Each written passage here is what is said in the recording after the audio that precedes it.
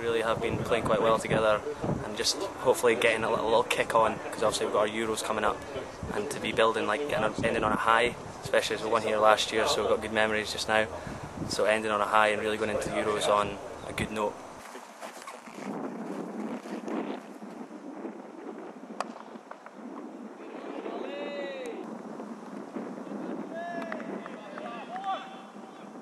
Willie, this is a very important year for Scotland's under 19s. Why? The fact, obviously, that it is a World Cup year, World Cup qualifying year, and also uh, a bit different uh, from previous years in that uh, there's uh, two qualifying stages. Uh, one next week in Jersey, from which two European sides would qualify. Um, and then we would move on to a mini ICC tournament, if you like, from which uh, six associate teams would qualify from 10. Second qualification tournament is in September in Canada, uh, and qualification from that would then take us to the World Cup itself in New Zealand in February. Well, there has been a remarkable amount of under 19 cricket uh, in the Premier Division, obviously, of the National League, uh, both last year and this year and they seem to have made a tremendous impression. Yeah, I think so. I think uh, wherever we've gone, uh, opposition and opposition support have said that uh, it's really freshened things up as far as uh, Premier League cricket is concerned. looking at the the individuals, then um, at the top of the order, there's Oliver Hairs, who's been uh, doing very well. Yeah, Oliver Hairs, um, a good young cricketer, a very very forceful batsman.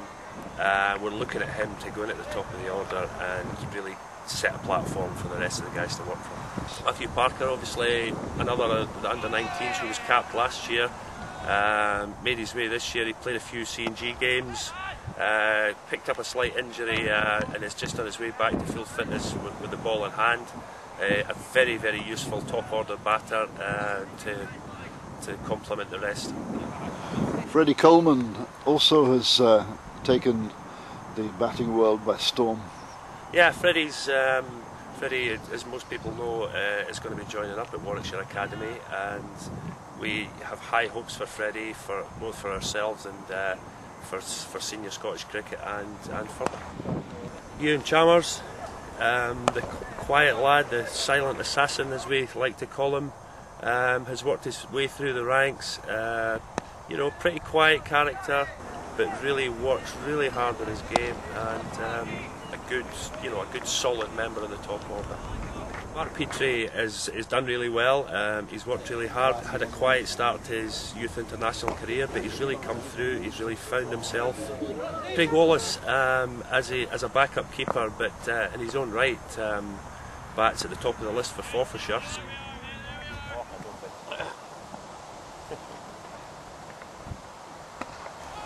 And uh, there was only one Asian uh, name here, Safyaan Sharif. Yeah, Safyaan, um, opening bowler, a seriously hard-hitting batsman, a big, big, strong lad. We'll look forward to seeing down in the sort of late middle order. But uh, bowls, bowls quite a heavy ball. Uh, Willie Rowan. Yeah, Willie, um, again, one of the performance boys, has worked really hard at his game. Um, he's shaped himself really nicely with a good run-up a good, strong, lengthy run up, uh, and has uh, worked himself into again a good middle order batter. Aman Bailwal, uh, he's a little buzz bomb. He's the little bonus character, the the guy who will bowl bowl some overs when required. Um, he'll score some useful runs in the late middle order when required, and he is also around the field one of our best outfielders. Another of the bowlers, Richie Lamb. Yeah, Richie from Aberdeen. Um, we looked for Richie to in the middle order, in the middle of the innings there to bowl wicket to wicket. Bowls very straight. Um, just does enough with the ball, just uh, just to keep batsmen interested. Yeah, Keith, obviously a son of mine, who you know again in the last year the performance course has really done him proud. He's worked really hard. Uh, he's worked really hard at his game. He's worked really hard with his batting and has come on in the field immensely. And uh, at the bottom of the order, Michael Leask. Yeah, Michael's just uh, Michael's probably just tucked in later. He went away in the winter uh, to South Africa and come back, bowling some really nice off spin, and he's he actually he made his way into the squad through some great good performances uh, later on in the season. Now, I get the impression, having watched these boys just a couple of times, that uh, they're very, very uh, keen and uh, athletic in the field. What, what's your own assessment overall of their chances of qualifying for the World Cup? Because we haven't actually done it for a few years now. Yeah, I'm, I'm, I'm very positive of, the, of our chances. Um, the fact that we've played so much cricket together, um, probably close to 20 matches this season already, uh, which over the you know five years ago would have taken you five years to do so. And we have a very outgoing personality in the, the skipper. Yeah, Kelvin Burnett doesn't leave anything on the field. Likes to have it all done. Plenty of noise. Very busy. Um, good, good first, second change bowler. And uh, very handy. Has scored some useful runs for us at seven and eight. Had a good start again. Obviously, a lot of Ollie Ayres and a few of the boys, Sparky Van, decent again, and we seem to always be able to do that, but then kind of tail off. But we did well, worked well in partnerships, like I said at the start. Everyone knew what to, who to bat with me and Chubby put on a decent hit. And a few lads dwell at the end there, a few singles. I think maybe just below par.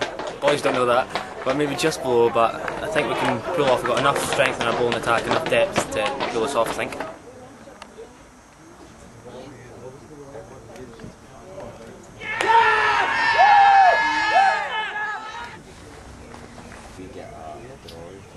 We got.